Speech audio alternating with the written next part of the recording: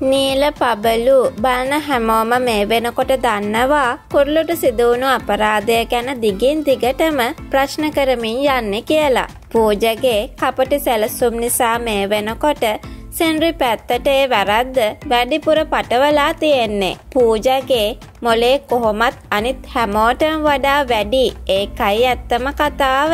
පොලිසියේ අදහස් වුණත් වෙනත් පැත්තකට යවන්න පූජට හැකි වුණේ රියදුරා රංජි පූජ කියන කියන විදිහටම හරියන්න ප්‍රශ්නවලට පොලිසියට උත්තර දෙන නිසා. ඇත්තටම සෙන්රි හිර කරන සැලසුම පූජ මුලින්දම්ම සැලසුම් කරපු එකක් විත්තිය හොඳටම තේරෙනවා. ඒ තමයි මැකෑනික්ට වගේම වේටටත් පූජ මුලින්ම උගන්නලා තියෙනවා සෙන්රි ගැනම වරද්ද දාන්න කියලා. ඉතින් මේ දෙන්නම ඉටු කරමින් ඉන්නේ අන්නේ සැලැස්ම.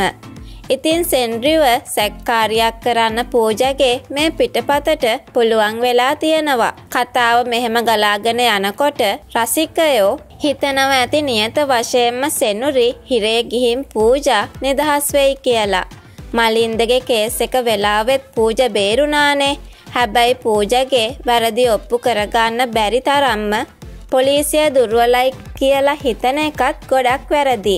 මොකද පොලිසිය නිලධාරීන් හෝඩුවාවන් පිටිපස්ස ගිහින් හරිම වැරදිකාරයා හරිම වෙලාවට අල්ලගනි. ඒ සිද්ධි ටික එහෙම ගත වෙලා යද්දී සුබද්දට අයිති වලව්ව පූජ හොර රහසෙම සුබද්ද ලව්ව ලියාගෙන විකුණන්න යන සිද්ධිය ඔන්න යසෝ කෝල් කරලා කිව්වා.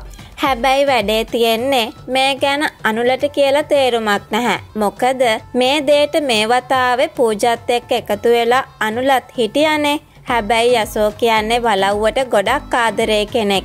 වලව්වෙන් ඈතකට යන්න පොඩ්ඩක්වත් කැමති නෑ. එයාගේ මුළු ජීවිතේම වලව්ව කිව්වොත් තමයි හරියටම හරි. ඇඩ්ඩින් උනත් එහෙමයි. ඉතින් මේ වලව්ව විකුන්නොත් තමන්ට යනෙනමක් නෑ කියලා ඇඩ්ඩින් වගේම යසොත් දන්නවා. නීල පබලුත් එක්ක දිගටම හිටපු අය දන්නවා පූජ සුබර්ඩගේ බෙහෙත් මාරු කරා. ඒ වරද්ද දැම්ම යසෝ පිට.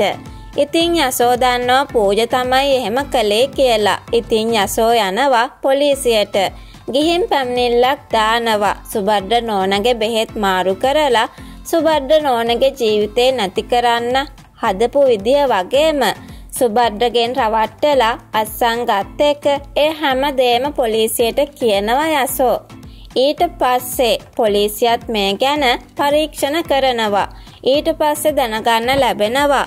සිහි කල්පනාව නැතිවෙලාවේ අස්සං ගත්ත එක. ඒ වගේම බෙහෙත් මාරු කරපු එක. ඉතින් සිහි කල්පනාව නැතිවෙලේ අස්සන් කරපු නිසා පූජ අස්සං කර ගත්ත එක අවලංගු වෙනවා. ඒ වගේම ජසෝගේ පැමිණිල්ලත් එක්ක ආයම පූජා කුරුලටත් අනතුරක් කරන්න සැලසුම් කරපු එක ආයම වතාවක් පූජ පැත්තටම සැකේ ඇවිත් පූජගේ වැරදි ඔප්පු වෙනවා. සෙනුරිට නිදහස ලැබෙයි වැරද්දක් නොකරපු නිසා.